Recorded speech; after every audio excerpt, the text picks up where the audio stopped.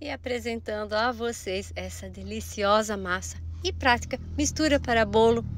Gente, parece massa profissional, pode ter certeza. E essa é a Pandeló.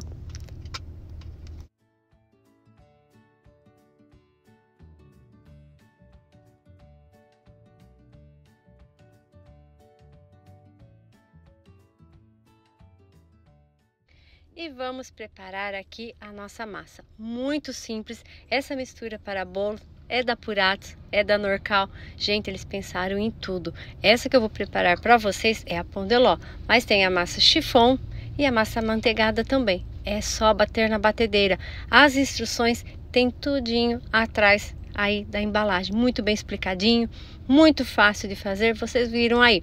Aí na batedeira eu coloquei sete ovos inteiros, coloquei água e o pacotinho aí. Aqui eu estou ajeitando, pessoal, quem quiser misturar uma misturadinha antes, porque às vezes fica na, na, minha batedeira, às vezes fica no cantinho. Então a gente precisa raspar, né? Para que a nossa massa fique bem homogênea. E é só bater pelos minutos aí indicados também na embalagem.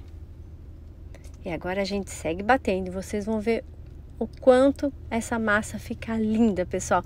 Linda, uma massa fofinha, Sim, uma massa sensacional. Para você aí que às vezes está com dificuldade com massas, olha essa mistura para bolos da Norcal e é da Puratos.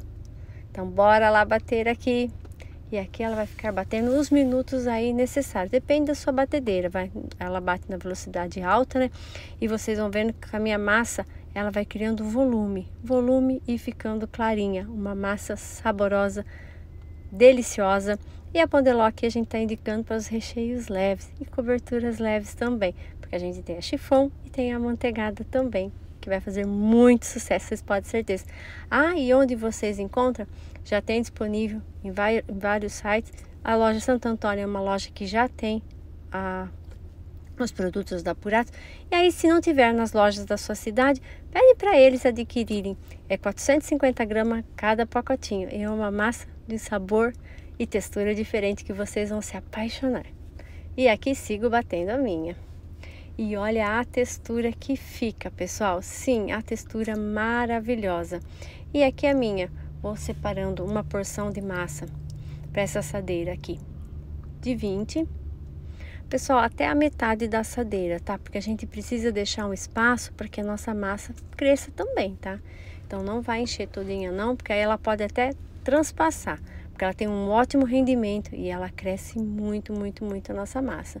Então, até a metade é o suficiente para vocês deixarem para que ela cresça aí e ela fique linda a nossa massa. Forno pré-aquecido a 180 graus, depende aí do seu forno, vai em torno de 30 a 40 minutinhos, tá? E olha a nossa massa, que linda que ficou. Sim, ela fica linda. Então, Deixe o espaço para que a massa cresça, viu, pessoal? E de onde vocês estão falando? O que, que vocês acharam dessa mistura para bolo? Gostaria muito de saber. E olha aí, tô tirando já a massa. Olha que fofinha, pessoal, muito fofinha.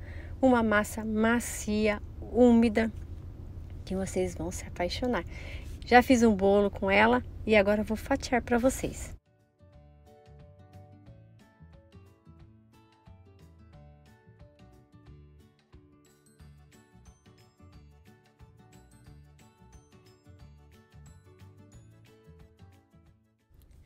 Uma massa de alto rendimento. A minha rendeu uma de 20 por 7 e uma de 15 por 10. E aqui fatio para vocês a de 20 por 7. Olha que linda a massa. Gente, uma massa super fofinha mesmo, que vocês viram aí no vídeo de ontem. O bolo, gente, fica sensacional. Uma massa linda, que eu espero muito que vocês tenham curtido. Muito obrigada a todos que chegam ao final, que deixam aquele joinha que ajuda muito o canal, que compartilham os vídeos. Meu muito obrigada. Fiquem com Deus e até um próximo vídeo, pessoal, que eu espero vocês, é claro.